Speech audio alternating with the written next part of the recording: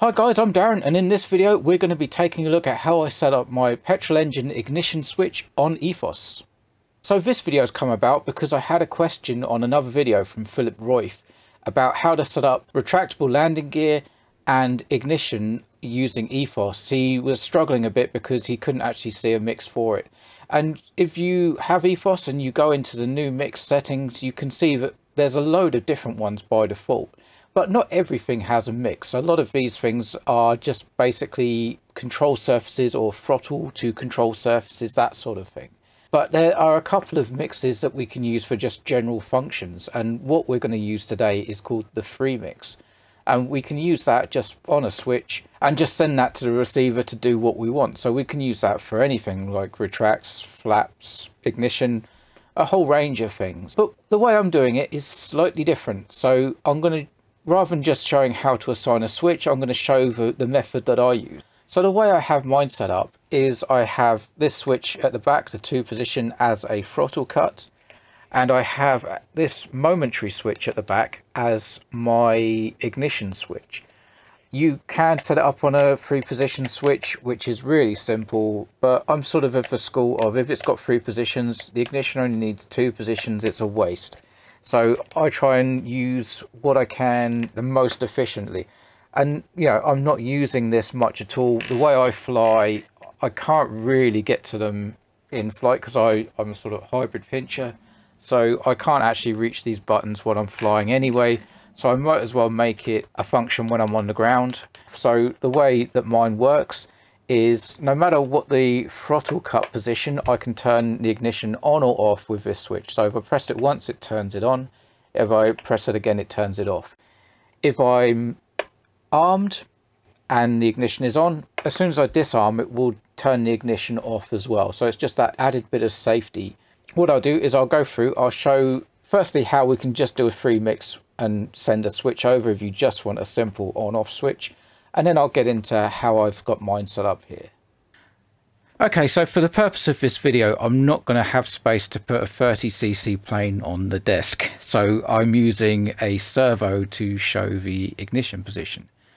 So uh, just to show you mine working, obviously I can't really show the button underneath as well. Ignition on. So ignition on.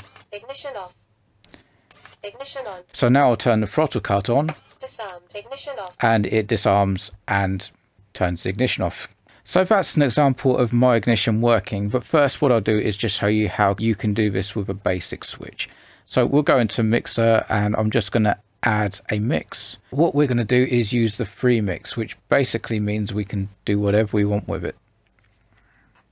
So I will give this the name ignition. And what we're going to do is just assign a switch. So I'll put it on SC and we will assign it to the output. So I already have an output for ignition, so I'll put it on there. So now you can see that we have our free position switched. So you can use this for anything. Like I mentioned, you could set it up as flaps, as landing gear. It's just a free position switch going out to your receiver.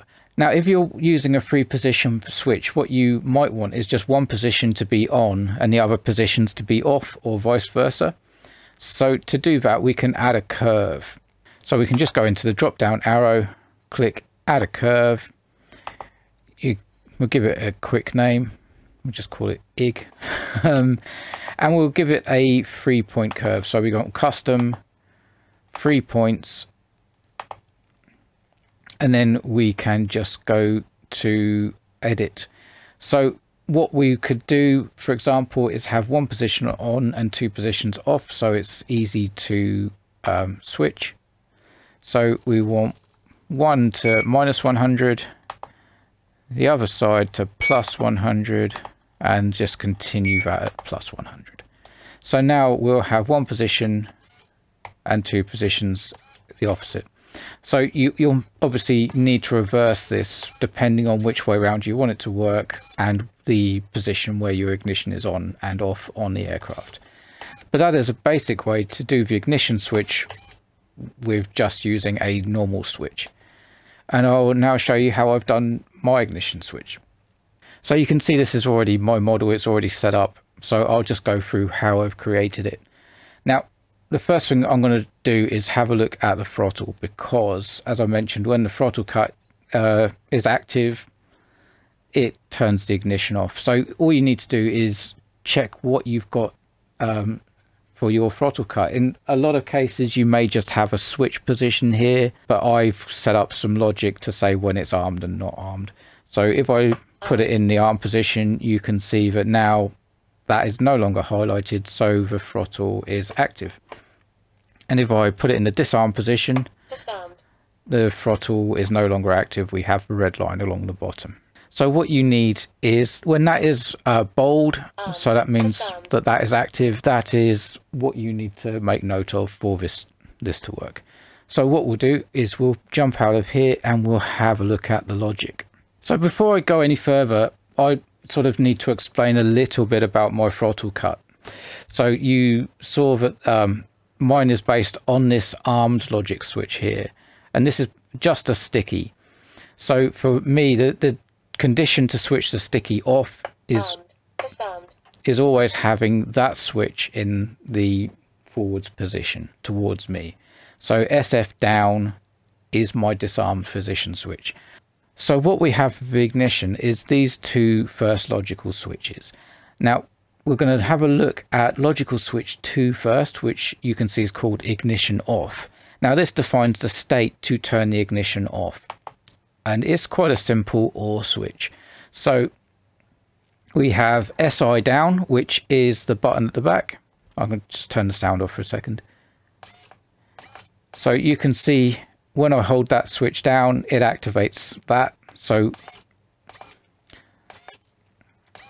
whenever that is pressed, it, it will trigger this OR. And also we have SF in the towards me position, which is the throttle cut active. And you see this little line with a, a line through it next to it. That means that it's an edge. So if you hold down the button at that point, you can go to edge and turn that on.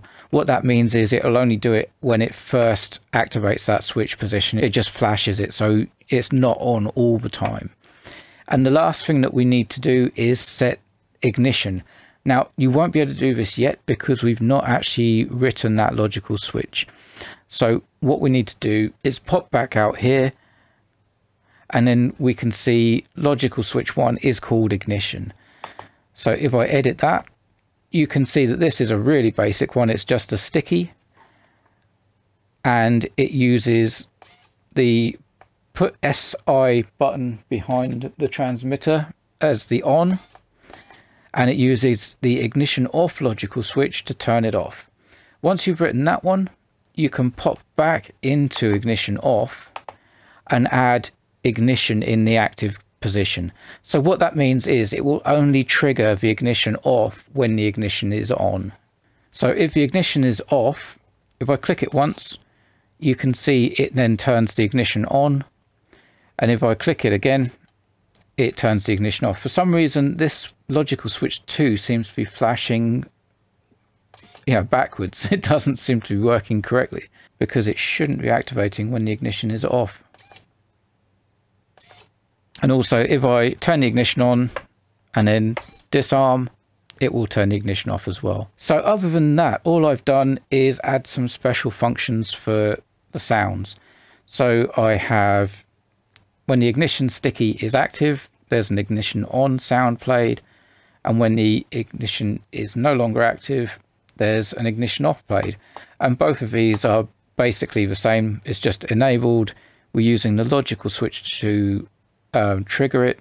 And then we have our sound, which is played once, and we skip it on startup. So it's nice and simple. And the final part to this is once we have our logic is to assign it to a mix. So again, we will just create a free mix like we did for the switch. And all we need to do is set the source as our ignition logical switch. That's all we all we're doing. So logical switch is ignition. So if I pop all the way down the bottom, you can see our channel working. At the moment, our ignition is off turn it on, we get 100%. Turn it off, we get minus 100%. Again, if this is the wrong way around for your ignition and you find that it's on when you want it off, all you need to do is reverse that and it will work just right for you guys. So I hope you all found this video useful. If you did, please remember to give it a thumbs up, like, subscribe, click the bell icon because that will help get this video out to more people so they can learn how to do this too. Thank you very much for watching guys. See you on the next one. Bye.